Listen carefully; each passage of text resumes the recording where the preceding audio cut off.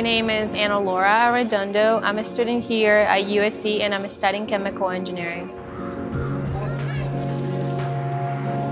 I'm originally from Mexico, from a little town called um, San Luis de la Paz, and I moved here when I was 15 years old. When I came here to the United States, the mentality was that I should be cleaning houses and I should be a nanny, and that's what, you know, a lot of us do. Hi, Andrea. How's it going? I didn't know what I wanted to do yet. Um, I wanted to just work and help my mom economically back in Mexico. But then once I picked up the language, once I saw those opportunities that teachers actually believed in you and they told you you have the go take any class you want and you can learn anything you want. So that's when I pretty much said, you know, I'm, I'm gonna do it and pursue my dream, what I wanted.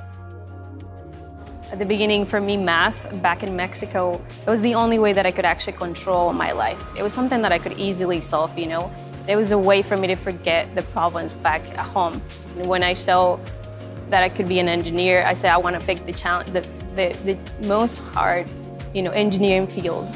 So chemical and energy is what I've chosen, yeah.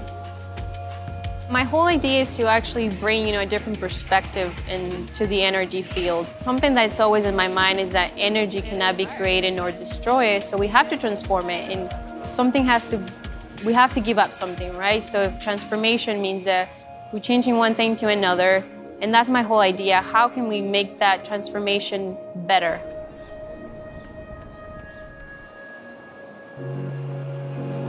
California is like, it supports you, and you can feel it even in the weather. It's like go and do great things and change what you don't like and be supportive to others.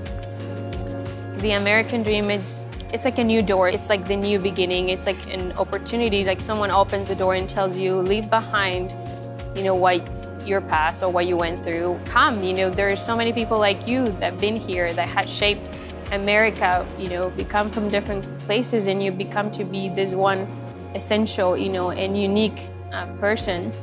That's being American.